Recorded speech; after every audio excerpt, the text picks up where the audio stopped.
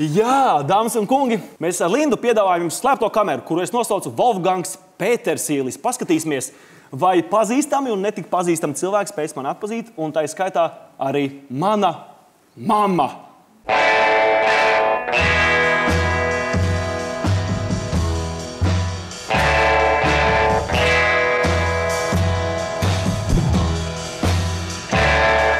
Es atceros, nebūtu kāda, kāds, kad, kad, kad, kad jēna vai kāda, kāpēc viņa vajag tāds bēdīgs vakars uz ezeru.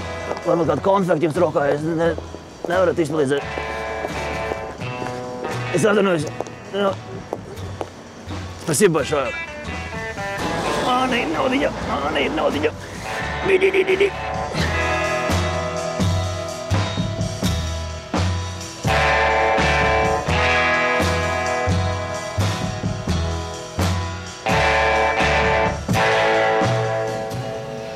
Jūs uh, neesat u- tas uh, os, Ko lūdzu? os, jūs neesat. Es esmu bērziņš, bērziņš brālēns, bērziņš brālēns. Vi- Es uh, viens ojāru vāciešu uh, dzējos man prātā.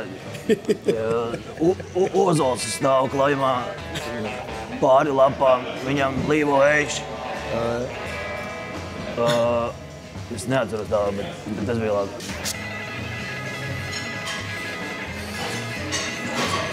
Es atceros. Es atceros. Es atceros. Jūs neesat Roberto. Tutti frutti. Manģēla Mazriāni. Sofija Lorēna. Jā, jā, jā. Šaus. jā, jā, jā. Šaus ir labs, bet ēdiens nav garšīgi. Nevajag taisīt. Mums kā reiz arī, arī tā nepieciešamība Nu!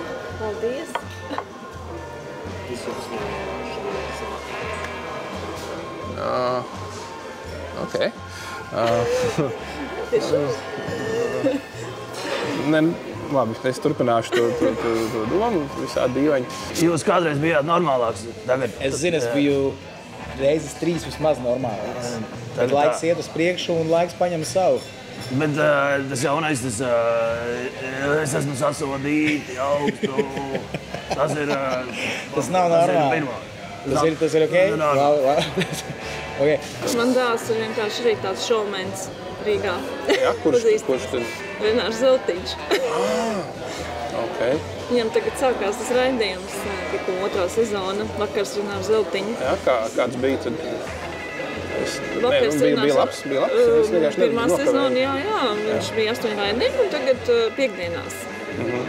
Ja sanāk laika, var paskatīties 9.15 debus. Ā, Viņiem Katru jaunā piekdienu. sezona sāksies. Tagad jaunā.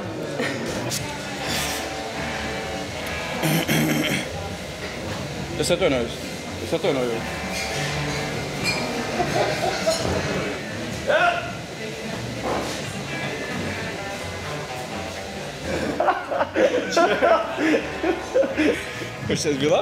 Bija labs, ne? Šis bija labs. Šis bija labs. Neturēsim to, neturēsim to pūrzemi zem sveces, jā, ja redz, ka, jā, sveiciens no, sveiciens no šī puiša. Absolūti. Pasveic viņu arī, kad sadiec. Roberto. jā, Roberto. nu jā, es zinu. Roberto. Tas vajag ir. Nu, Es atceros viens cilvēks, kas ļoti mīl. Jā, jā, jā. Jā, tas ir šis cilvēks. Paldies, paldies. Es jau tā sapratu, es tev atpazīstu. Es zinu, zinu, zinu, zinu.